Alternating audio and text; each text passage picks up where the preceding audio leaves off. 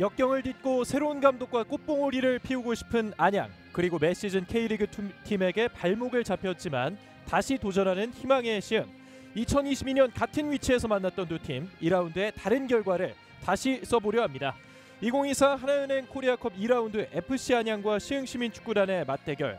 안양 종합운동장에서 펼쳐지겠습니다. 먼저 홈팀 안양의 선발 라인업 살펴보겠습니다. 김성동 골키퍼 김영찬, 박종현, 임승겸 김동진, 리영직, 한가람, 홍창범, 전승민, 야구, 김훈 선수가 유병훈 감독의 선택을 받았습니다. 맞서는 시흥시민축구단의 선발 라인업도 살펴보겠습니다. 박승수 감독이 이끌고 있습니다. 김덕수 골키퍼 정호근, 변준영, 주영재, 안수민, 리마, 서경주, 오성진, 까밀로, 이지홍, 김태원 선수가 출전합니다. 컵에서의 도전을 박승수 감독과 이끌어오고 있는데요. 이제 양 팀의 전반전이 출발하겠습니다. 화면 왼편에 홈팀 FC 안양, 오른편에 원정팀 시흥시민축구단이 위치하겠습니다. 이지홍 찔러줍니다. 오른쪽 측면 박스 안쪽 이어집니다. 크로스까지 골절 이후에 나가지 않았습니다. 왼발 오늘 경기 첫 번째 슛이 시흥에서부터 나왔습니다. 자 안수 예. 왼발로 올라갑니다. 반대편 길게 자, 발을 한번 이용해 봤는데요. 발이 높았습니다. 시흥 선수를 가격하면서 위험한 플레이가 됐고요.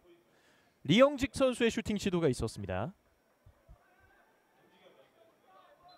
대한민국 무대에서의 또첫 번째 공격 시도를 리영직 선수가 보여줬는데 아, 지금은 공이스 나왔습니다. 왼쪽에서 끌어냅니다. 달리고 있는 오성진.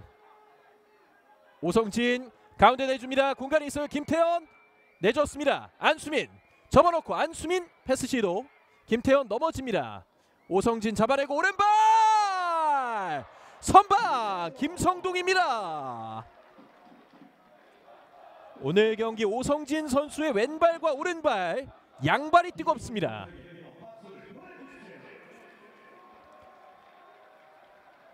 적극적인 압박을 통해서 다시 한번 상대의 실수를 노렸던 시흥시민이었고요. 이 오성진 선수의 가마차기가 정말 일품이거든요. 안양의 김성동 골키퍼가 잘 막아냈습니다. 공을 끌어냈습니다. 서경주 가운데 연결 까밀로가 밀어줍니다. 오른쪽 오른쪽 공이 뜨고 말았습니다. 이지홍에게 찾아왔던 절호의 기회. 시흥시민의 번쩍이는 공격이었습니다. 까밀로가 여기서 밀어주는 공이 워낙 좋았죠. 자 이지용이 본인의 주발이 왼발이 아닌 오른발로 한번 때려봐. 왼쪽에 공 떨어졌습니다. 전승민이 밀어줍니다. 김동진 일단 뒤로. 자 크로스. 오, 자책골이 나올 뻔했습니다.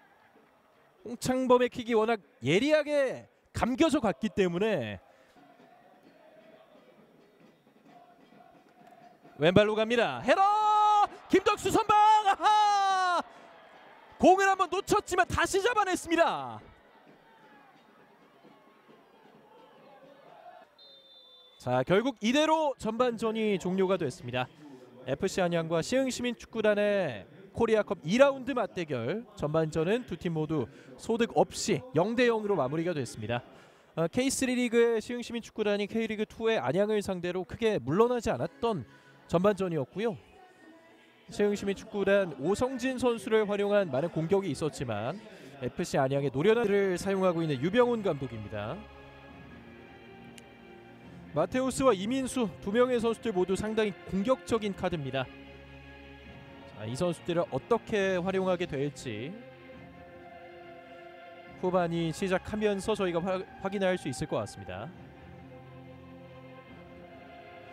어, 김포가 벽산을 상대로 결국 승리를 확정 지으면서 이제 3라운드 이 경기의 승자가 김포와 만나게 되겠습니다. 양 팀의 후반전 출발하겠습니다. 화면 왼편에 시흥, 오른편에 안양이 위치하고 있습니다. 팀들도 완전히 로테이션을 돌려서 이길 수 있을 것이라는 보장이 없고 이변의 희생양이 되는 경우들이 상당히 많습니다. 원투 패스 마테우스와 야고 주고받습니다. 다시 한번 야고 쪽 박스 안입니다. 마테우스 마테우스의 크로스 아, 두 외국인 선수들이 후반전 시작과 함께 투입이 됐습니다. 왼발킥 걷어냈고요. 세컨볼 왼발 깔아찼습니다. 그대로 지나갔군요.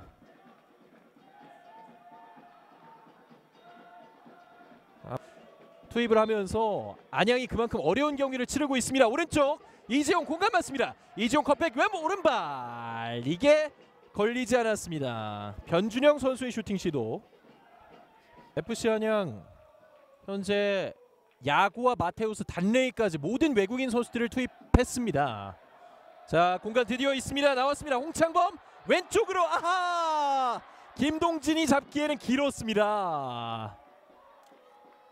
습니다 이지홍 자 1대1 과감하게 칠 수 있는데요. 왼발로 갑니다. 헤러